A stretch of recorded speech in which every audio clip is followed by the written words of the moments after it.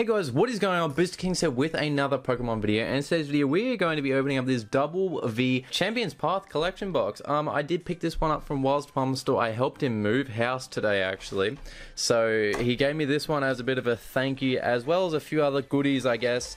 Uh, that we probably will get into eventually, but we're going to get into this one as of today, and let's see if we can get the elusive Champions Path Shining Charizard or the Charizard V Max uh, Hyper Rare.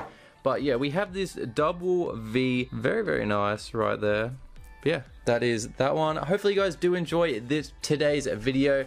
Uh, make sure to leave a like and subscribe for more if you guys want to, obviously. And let's get into these four packs. Pretty quick video for today, but we will start off with this one. The what is it? Um, Drednaw. That's that's that's the one. There's a code card for you guys. We'll go four to the front, and we start off with a Fighting Energy. We have an Arbok, a Victini, a Team Yell Grunt, a Vulpix, Potion, a Rock Rockruff, right there, Scraggy, Zigzagoon, a Pokemon Center Lady, and a Lycanroc Holo Foil as the first Holo card out of this one. Let's go to the next one. We have a Gardevoir right there on the cover. Come on, can we get a Charizard, some sort, some sort of ultra rare. That would be very, very nice. We have a Rotom Bike, a Beedrill, a Absol, Hatenna, a Trubbish, Nickit, a Machop, Purrloin, a Liepard, and a Hatterene. Oh, with the Hatterenes all around. They're so common. But now we have an Alcremie, very, very nice.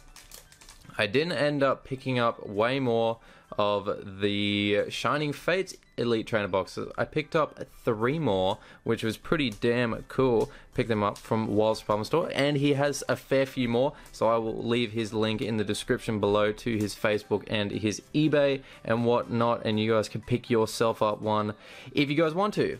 But we are on to our last pack already. We have done nothing so far, but hopefully we can get something in this last pack at least something so we can say that we got something. Maybe that Venusaur that we get in every single opening. But let's go. We have Sharpedo, a Malamar, a Trubbish, Rolycoly, a Kakuna, Zigzagoon, once again, Carvanha, a Shiftry, and a Zygarde regular rare to finish off this pack.